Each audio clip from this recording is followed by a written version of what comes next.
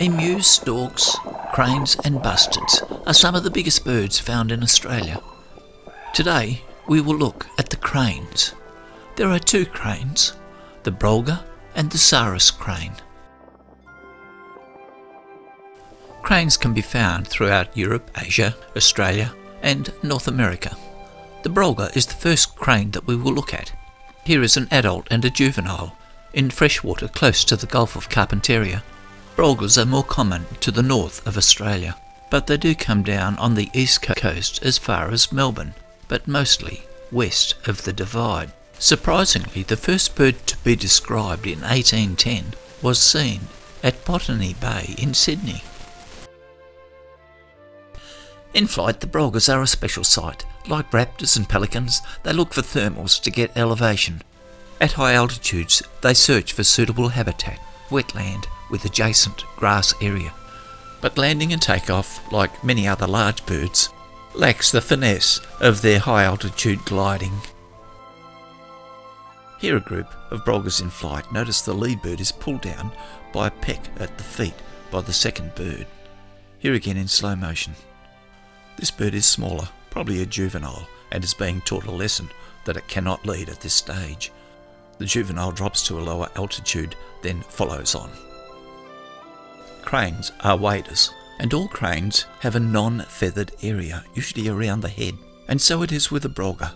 The majority of cranes of the world have non-feathered areas over the face, but with the Australian cranes, the non-feathered area extends beyond the face to behind the head. Around the edge of the wetland, where the soil is soft and sedges grow, they will there probe for the tubers.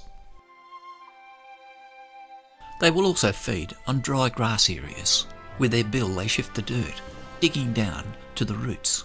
The diet is mostly vegetarian, but they are omnivorous and feed opportunistically, taking insects, amphibians and small reptiles. The red pigmentation of the Brolga and the Sarus crane is on the non-feathered area. Often this is called bare skin, but don't think of it as smooth skin, for it is very papillomatous. The pigment is contained within these papillomas of the skin.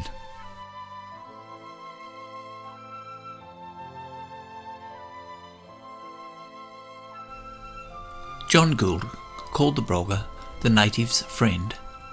Recently, when going through Mataranka in the Northern Territory, there were two Brolgas in the park where indigenous people had picnics. I asked one of the locals whether the birds came there often. He replied, They live here, he's just one of us.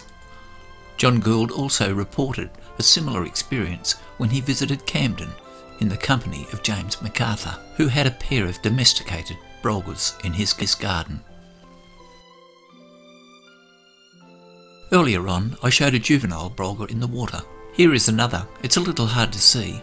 Between the parents, note the red band is still grey.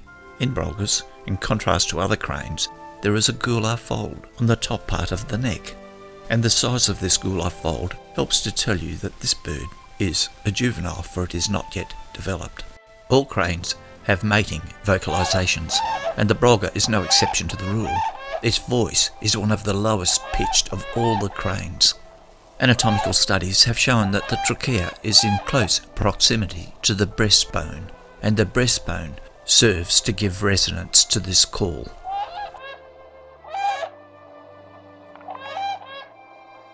Cranes throughout the world have a ritual dance. This is either for mating or for partner acknowledgement.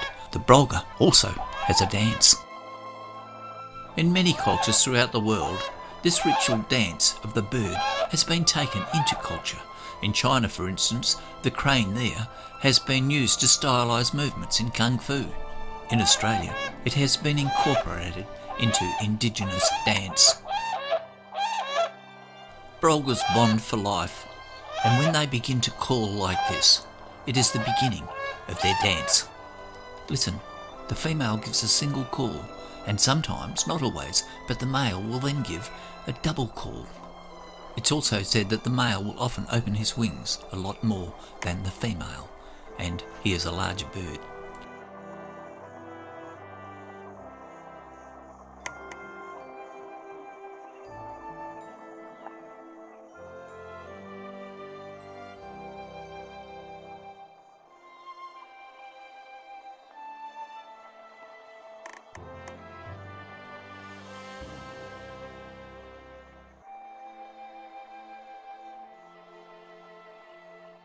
Visually, it's hard to tell a male and a female brolga.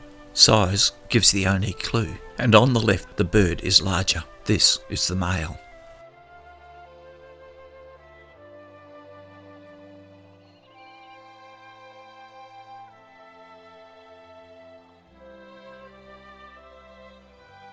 Here is another pair of brolgas in South Australia.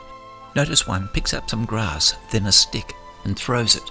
This is a suggestion to the partner that nesting time is here. Not that they build a nest, but simply lay the eggs on the ground, surrounded by a few leaves from the wetland area. More mating antics of the brolgas, this time in South Australia, where unfortunately brolga numbers have reduced. This marsh area is in the middle of a desert at Coward Springs. The marsh is supplied by water fed from an artesian bore. Most of the wing flapping in this occasion seems to be done by the bird on the right, a larger bird, so I presume that this is the male. And it is picking up sticks, suggesting perhaps that the female should lay her eggs. But this may just as well be part of the dance routine.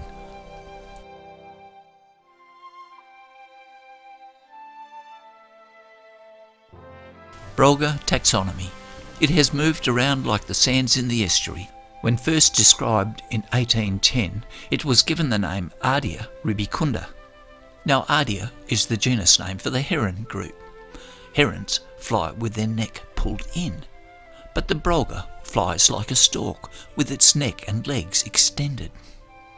Latham referred to it as the Indian crane, for Latham had seen the drawings and paintings of Watling. Watling was an early convict.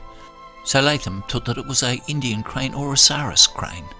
In the mid 1800s, John Gould gave it the name Grus australasianus, grus being Latin for crane. At the same time, Leichhardt was exploring Australia, and in his journal he called it Ardea antigone. Then in 1910, John Matthews, in his Book of Australian Birds, called it Antigone rubicunda. Antigone is from the Greek meaning against birth, the same term used for the child of Oedipus. Today, worldwide, there are two names for the genus. One is Grus, the other Antigone. Then in 2010, using mitochondrial DNA, a crane phylogeny was compiled at the University of Illinois. This genetic study showed a Pacific Rim effect and the cranes that were thought to be monophyletic are indeed polyphyletic. So the term Antigone was resurrected as the new genus name, and four cranes belong to this, including the Brolga and Sarus. So I suspect the final name of this bird will be Antigone rubicundus, ruby for red, cundus for example.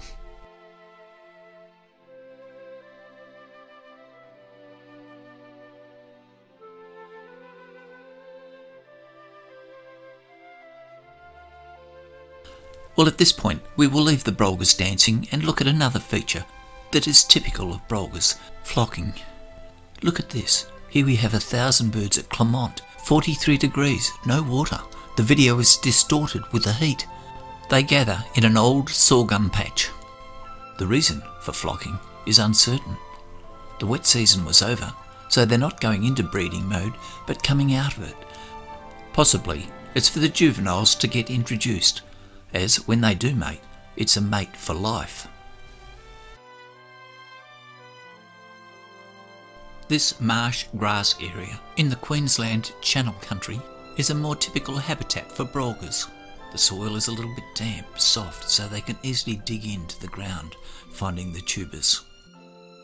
A delicacy for the brolga is a lotus seed pod, and as you can see, here the brolga has found an old pod, and he's hoping that there is still some tasty seed contained within. The reason why a brolga is not an egret is that in flight it flies with its neck extended, whereas an egret has it pulled back. So the brolga is an Australian crane, but I should mention it is also in the southern latitudes of New Guinea.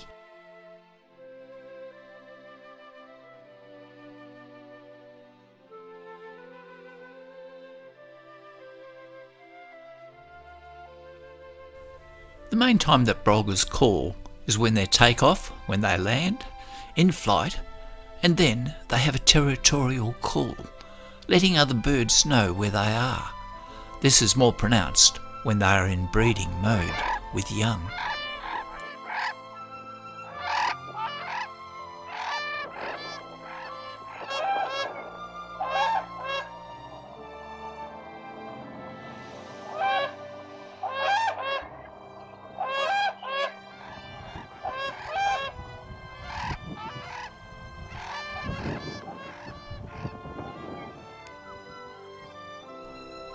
Look at this group of brolgas closely. Yes, there are brolgas, four of them on the left, but then the two birds on the right have red coming down on the neck.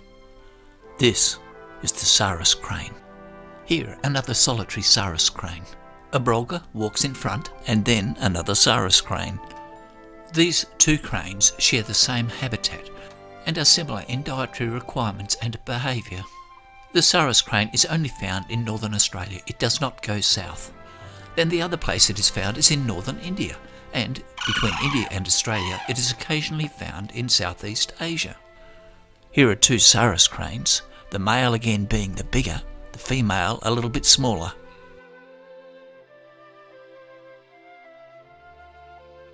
Here is a juvenile Sarus crane. Notice that even in the young you can see the reddening of the upper neck. The younger birds are totally dependent on the adult for feeding, and they watch as the adult digs in the mud. Once food is found, the adult drops it, where the hungry youngster is waiting. Like brolgas, the Sarus crane has times when it calls. In this case, there are two adults with two juveniles. A little further down the lagoon, further Sarus cranes are landing, and they are calling, telling them that this is their territory as they are caring for their young. Like the brolga, the Sarus crane generally lays two eggs, and here you can see the two young birds, a little older, not requiring feeding by the parent. These birds are foraging for themselves, but as yet have not learned to put their head under water.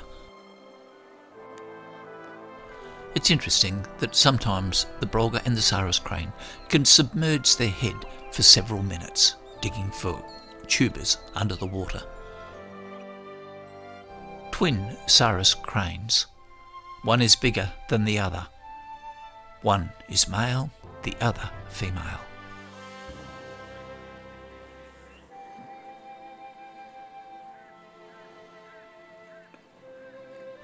To conclude, here are the frequency sonograms of both the Sarus and the Brolga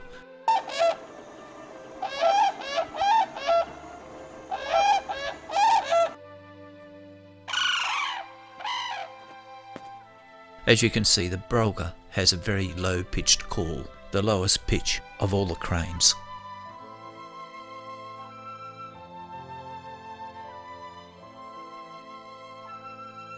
On behalf of the Plumes of Oz, thank you for watching this video and I hope you have enjoyed it. If you would like to watch further release of Australian bird videos, please subscribe.